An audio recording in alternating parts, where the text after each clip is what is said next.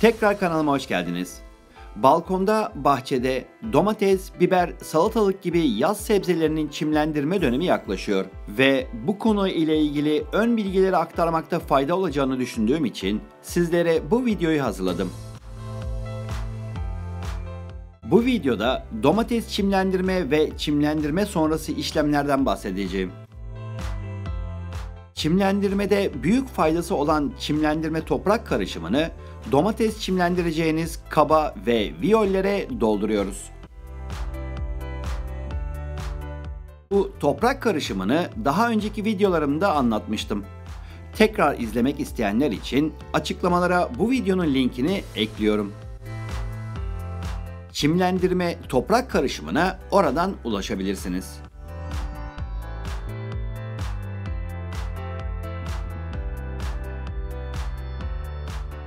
Çimlendirme yapacağımız kapların dörtte üçünü toprakla doldurduktan sonra bir gün suda beklettiğimiz pembe domates tohumlarımızı bir peçete üzerine alın ve toprakların üzerine yerleştirin.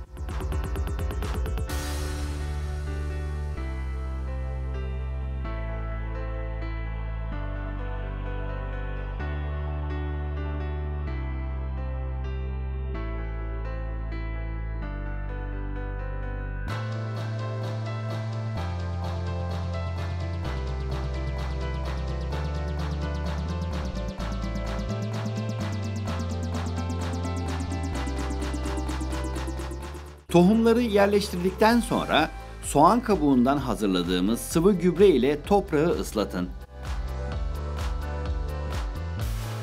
Bu sıvı sayesinde daha hızlı çimlenip daha fazla köklenme gerçekleşecektir. Bu sıvı gübrenin nasıl hazırlandığını tekrar izlemek isteyenler için açıklamalara ekliyorum. Soğan kabuğundan sıvı gübre hazırlanışını açıklamalardaki linkten izleyebilirsiniz. Tohumların üzerlerini tekrar toprakla örtün. Örttüğünüz toprak yaklaşık 1 santimetre kalınlığını geçmesin.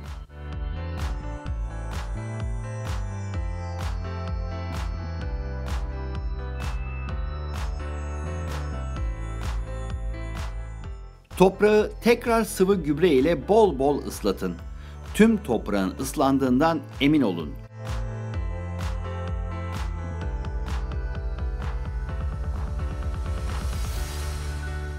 3 gün sonra çimlenmenin başladığını göreceksiniz. Tohumların çimlenme sürecini 20-22 derecede geçirmesine özen gösterin. Tohumların çimlenme süreci 20 derecenin üzerinde gerçekleşmeye başlar.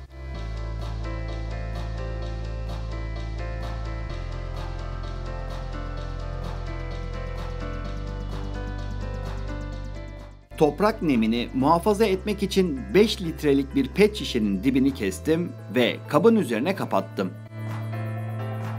Bir nevi sera gibi oldu. Filizlerin boyları uzadığından yüksek bir kapak için pet şişe dibi idealdir.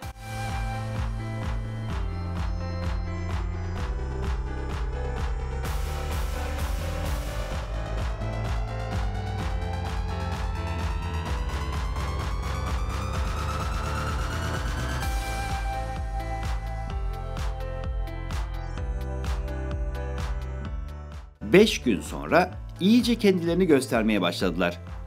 Bu aşamadan sonra günde en az 2-3 saat güneş görmesini sağlamak gerekir. Filizler daha da güçlü saplara sahip olduğunda tüm gün güneş görmeleri uygun olacaktır.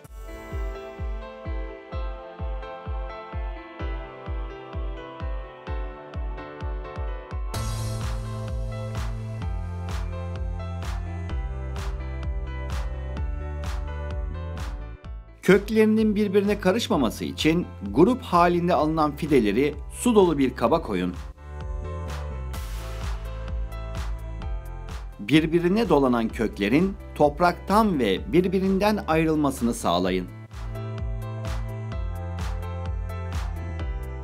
Kökleri temizlenen fideleri tek tek ayırın ve bundan sonra gelişimlerine devam edecekleri yaklaşık 6-8 cm çapındaki saksılara dikimini yapın.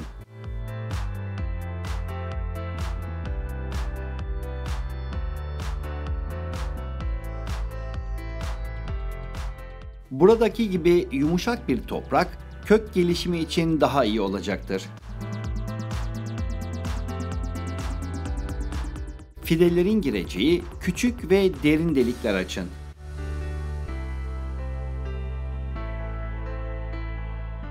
Fidelerinizi bu deliklere yerleştirin. Viyollerde tek tek çimlendirilen tohumlar için bu işlemi yapmanıza gerek yoktur. Bu işlemi yapmamızdaki amaç bir kap içerisinde çok fazla çimlenen tohumların kökleri birbirine dolanacağından sökerken köklere zarar vermeden sökmek ve fideyi öldürmemektir.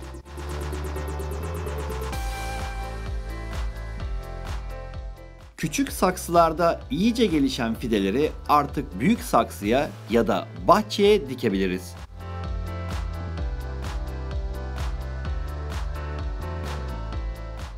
Dikim yapacağımız saksının en az 5 litrelik bir pet şişe kadar toprağı hatta daha fazlasını alacak kadar geniş olmasına dikkat edin. Dikim sırasında kök çevresine muz, yumurta, çay posası ve kahve telvesinden oluşan doğal gübre karışımını ekleyin ki toprak içerisinde domates için yeterli mineral olsun ve daha iyi ürün versin. Bu karışımın da linkini açıklamalara ekliyorum.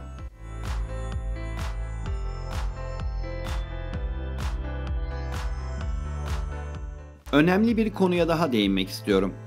Dikim yaptığınız fidenin bu görmüş olduğunuz tüylü mor kısmını gübreli toprak ile örtün. Buralardan da kök gelişimi olacak ve fide daha iyi beslenecektir. Çimlenmede oluşan ilk yaprakları da koparın.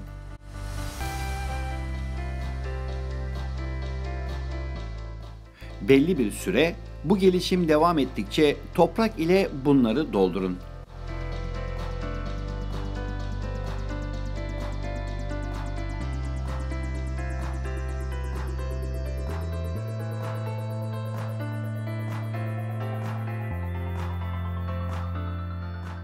Aynı işlemi bahçeye dikim yaptığınız fidenize de yapın. Mor olan kısmını gübreli toprak ile doldurun.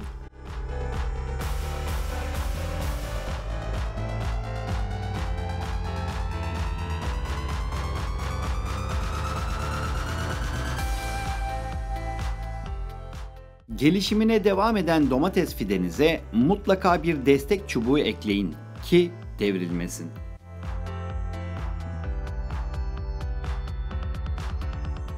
Mutlaka emici sürgünleri alın. Bu sayede domates fideniz enerjisini bu emici sürgünler yerine anaç gövdeye harcasın. Domates fidesi gün içerisinde en az 5-6 saat güneş gören bir yerde bulunsun.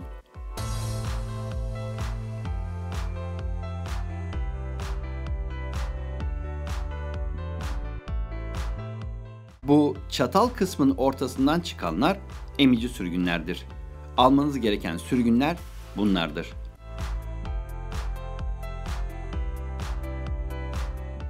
Sulama işlemine gelince toprağın üstü hafif kurumaya başlarken sulama yapın. Unutmayın ki toprağın üstü kurusa da kök çevresi nemlidir. Bu yüzden domatesi çok suya boğmayın. Bir videonun daha sonuna geldik. Bir sonraki çimlendirme videolarımda buluşmak üzere. Eğer bu videomu da beğendiyseniz beğeni tıklamayı, bir sonraki videolarımı izlemek ve kanalıma destek olmak için lütfen kanalıma abone olup zili aktif etmeyi unutmayın.